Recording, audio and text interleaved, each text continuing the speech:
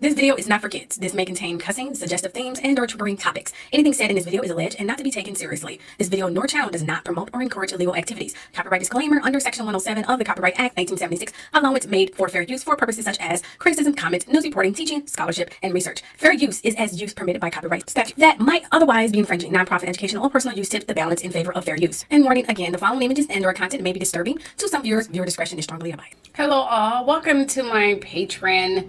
In this Truth Seeker requested video, I will be talking about the death and crime of television host, son, John Walsh. His name is Adam Walsh. What really happened?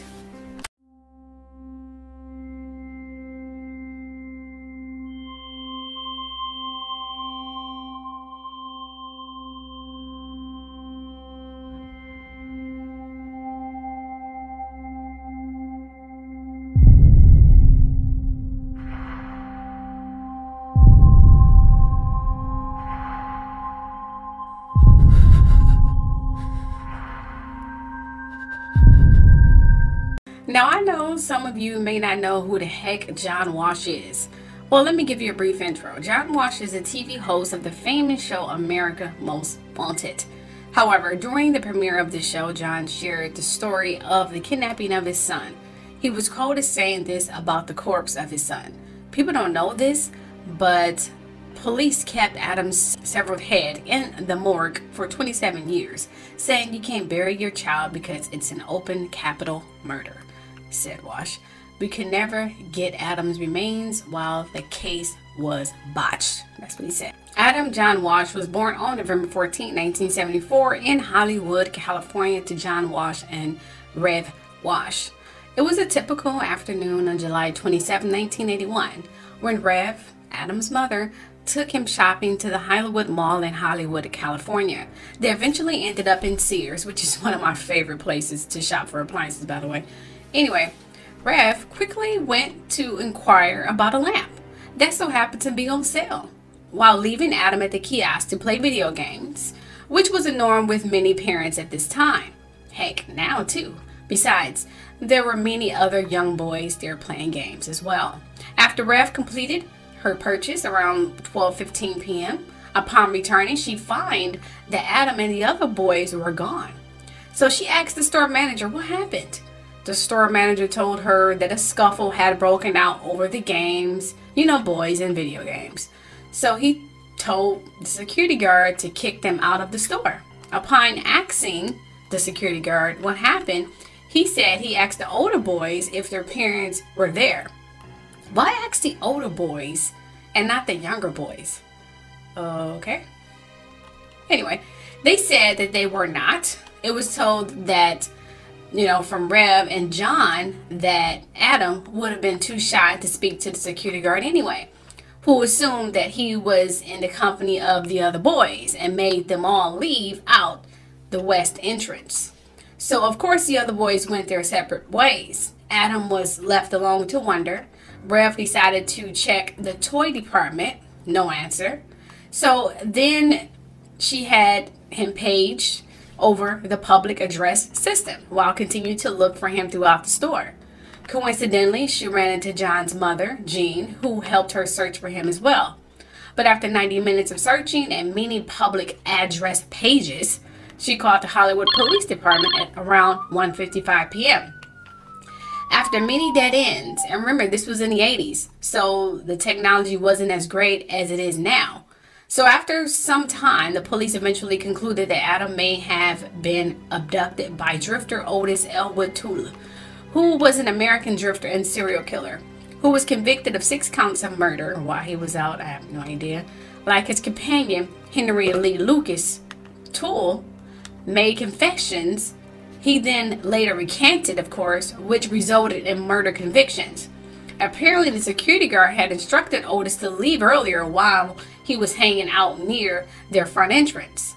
It was reported later that Toole allegedly uh, lured Adam into his white 1971 Cadillac with promises of toys and candy, then proceeded to drive north on the Interstate 95 toward his home in Jacksonville. Adam at first started to complain and began to panic as they drove. So Toole said he punched him in the face, but things had gotten worse, so he knocked him unconscious. Actually, thinking he killed them. So Toole drove north on the Florida Turnpike to a deserted service road just north of the Radbog Road overpass in northwest St. Lucie County, but Toole realized Adam was still breathing. So he strangled him to death with his seatbelt and then dragged him out of the car and decapitated him with a machete. He later said that he had disposed of his body by incinerating it in an old refrigerator when he returned to Jacksonville. He later claimed that he wanted to make him his adopted son. But considering the close relationship Adam had with his loving parents, that wasn't very feasible. Not to mention the amount of blood that was found in his car. However, conveniently, the police had lost the blood stained carpet from Otis' car and the machete that was used to decapitate Adam. And eventually, the car itself. Oh, yes. Meanwhile, Toole and his confidant and convicted serial killer Henry Lee Lucas repeatedly confessed and then retracted accounts of this involvement. Oh, and get this Toole was never charged for the kidnapping and killing of Adam even though he provided seemingly accurate descriptions as to how he committed the crime. I guess they figured he was lying. Oh, I'm not done yet. Several witnesses had also placed him in the Hollywood area in the days leading up to Adam's disappearance. Otis later died in prison on September 1996. He was 49 years old of cirrhosis while serving a life sentence for other crimes. But get this later, his niece told John Walsh that Otis had made a deathbed confession to Adam's murder. Yet again. Oh, yes. Oh, I'm still not done yet. Otis' confession was viewed as unreliable since Lucas is sidekick and he confessed to or implicated themselves for more than 200 different homicides, making the cops look bad, you see. So they label most of Lucas's confessions as false. You know, you know, the Texas Rangers didn't like that.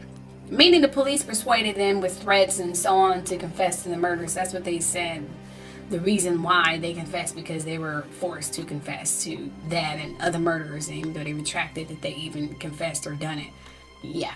But get this 16 years later, since the murder of Adam Walsh's police chief had conducted a review of Adam's case. After, you know, countless hours of listening to Toole and Lucas's confessions, he said that Toole did in fact murder him beyond a reasonable doubt.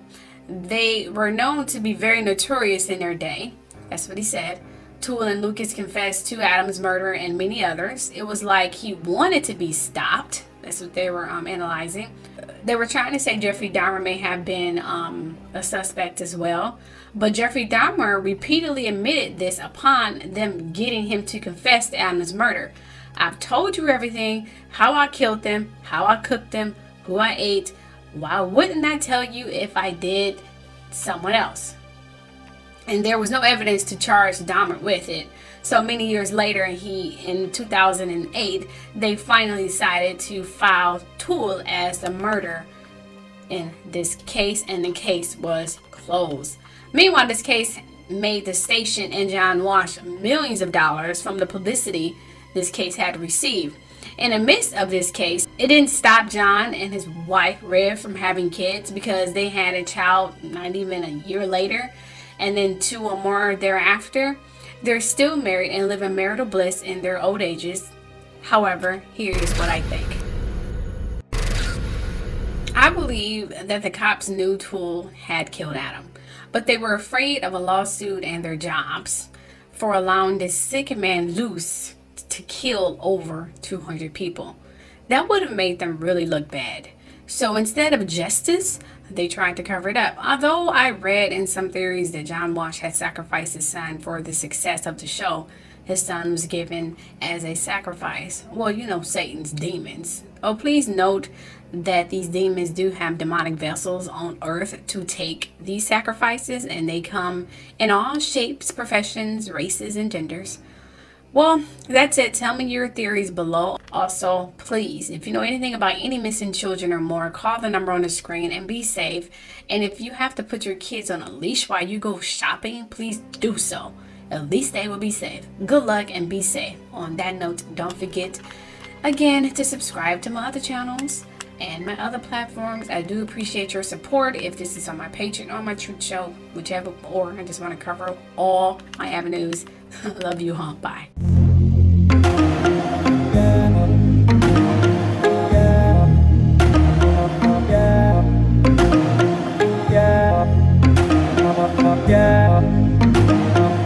Here's a brief word from my sponsor. The world's falling apart. Every day, another shocking headline makes you wonder what tomorrow will bring. That's why those who knows what's coming are using today to prepare. I'm talking about getting your family some high quality emergency food from My Patriot Supply. My Patriot Supply is a nation's leading preparedness company. They've been in business for going on 14 years now, and they've served millions of American families. Now they want to help you by giving you $50 off their popular four-week emergency food kit. Oh yes.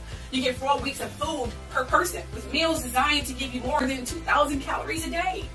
By the way, this food stays fresh up to 25 years in proper storage, so it will be there when you need it. Other food goes bad first, you know what I mean? So don't wait. Go to prepare with my link with the truth and claim your four-week emergency food kit. You will save $50 per kit if you act now. So prepare with me at preparewithtruth.com. Don't wait.